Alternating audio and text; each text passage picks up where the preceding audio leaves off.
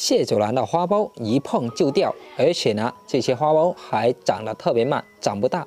怎么办呢？遇到这种情况，只要每七到十五天给它喷一次这种水，能让你的蟹爪兰叶片更肥厚，吸收能力更强，花苞发育的速度更快，花苞呢就不容易掉落，还能让它的花苞长得更大，开花的时候质量更高，不容易掉落了。大家看，就是这种通用型水溶肥，给大家推荐的就是这一款，它含里面含有大量的中链元素和大链元素。这些元素都能促进植物细细胞的活跃性，还有分裂能力，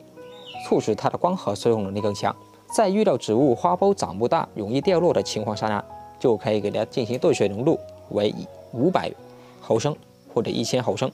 装到喷壶里，每隔十天、半个月左右给它喷一次。花期和生长期等等都可以用，很快就能够解决这些问题，为花卉补充大量的微量元素和大量元素。而且对于家里的一些观叶植物呢，都可以用。观叶植物出现叶片发黄或者有黑斑、黄斑呢，我们都可以使用这个通用型水溶肥，七到十五天一次，快速解决问题。如果你喜欢养花呢，可以关注我，让你养花变得更简单。